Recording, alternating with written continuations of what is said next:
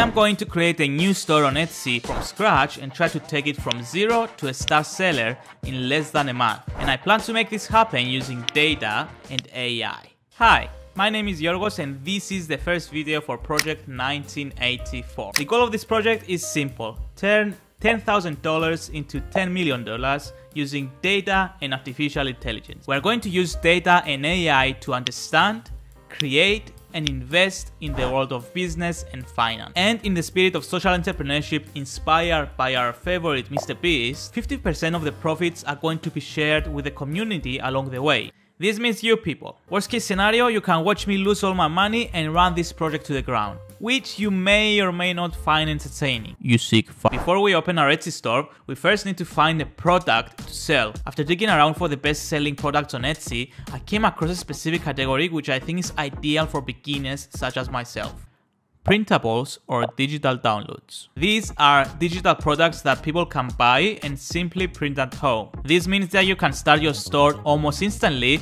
with minimal to no expenses. You do not have to maintain an inventory and you do not have to ship any physical product. It's perfect for passive income and extremely easy to get started with. In other words, it has a very low barrier of entry, which also means a lot of competition. But this does not scare me for a second because you see, we have a secret weapon, data and AI. A simple search for printables on Etsy will return a lot of different products like planners, calendars, stickers, wedding invitation, greeting cards. But which one should we focus on selling? To make an educated decision, I wrote a script using Etsy's developer API that analyzed the top 100 products from 25 of the most popular stores in the printables niche. And what I found really surprised me. As it turns out, there is good money to be made in this niche. Like, really good money. On average, these 25 stores made $750,000 from their sales. The top selling store made an astounding $4.5 million just for selling printable products, which is mind blowing. I also noticed that the top 5 stores with the most revenue sell their products for an average price of $11 whereas the bottom 5 stores sell their products for an average price of $2, which is a significant difference. So what's going on here? My best guess is that these stores are still at a relatively early stage and are trying to get noticed. That's why they try to undercut the competition by having extremely low prices for their product, which I believe is something we should be doing for our own products as well, at least in the beginning. Okay, so we know there's a lot of money to be made in but which product do they sell the most? To find out, I used my code again to discover the most popular product categories based on the 2500 best-selling products from the stores we analyzed before. As it turns out, the most popular category in this niche is calendars and planners. So this is where I focused on.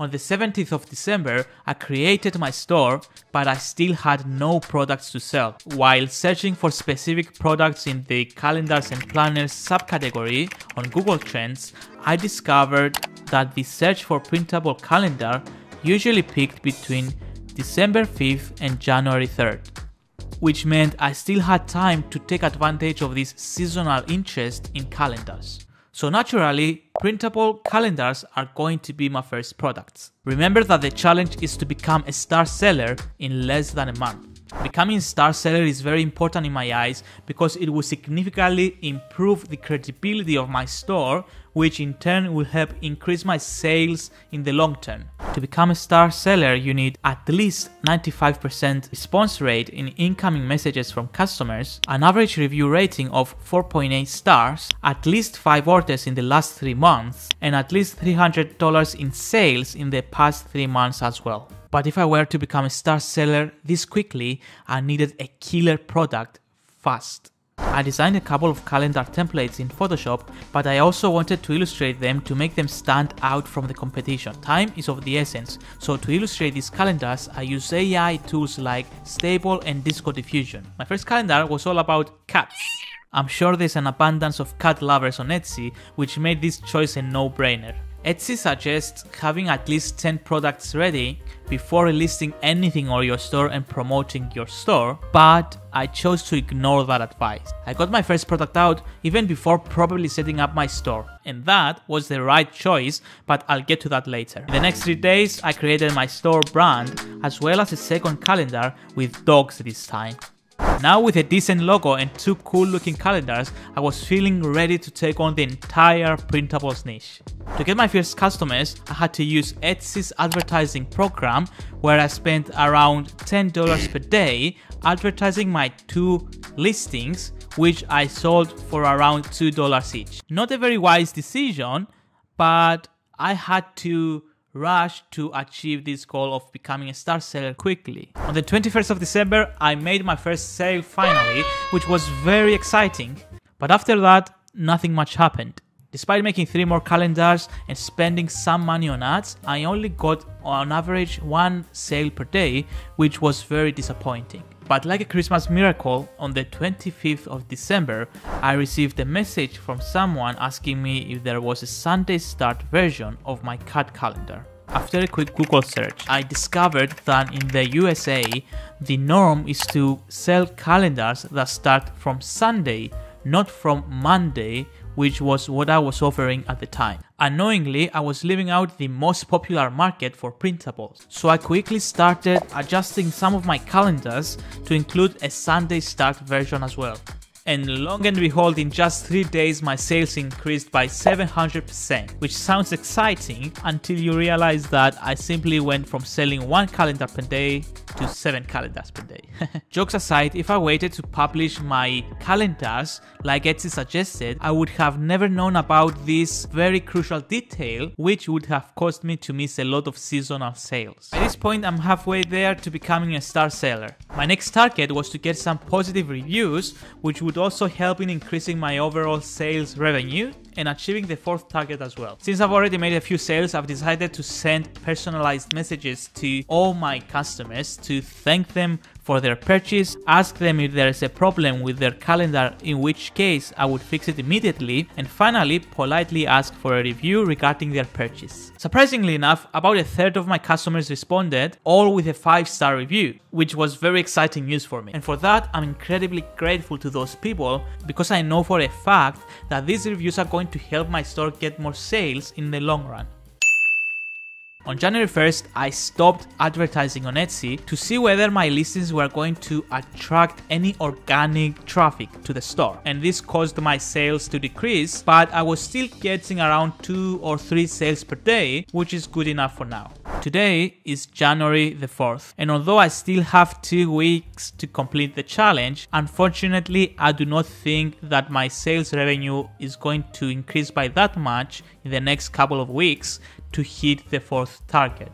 Because my products are calendars, which are seasonal products, so I expect the sales for calendars to decrease dramatically over the next week. Also, I just discovered that in order for us to receive the Star Seller badge, 90 days need to pass from the date we have made our first sale, which is a bummer if you ask me. Nevertheless, I think this experiment has been extremely successful. In just two weeks, we went from nothing to having a store with 44 sales, 12 5 star reviews, 10 followers, and $94 in revenue. And we are this close to becoming a star seller as well. I believe that the hardest step is behind us. Because we now have a store with some sales and some credibility with only 5 star reviews, which is something that is going to make our lives a lot easier in the future when it comes to selling new products. So the next step is to turn this store into a sustainable and profitable business. In the future, I will continue using data to illuminate this market and make more educated decisions when it comes to my store. I will also further incorporate AI tools into my store, process, and the entire business I'm trying to build. Alright, so we have our first entry to the portfolio of hustles.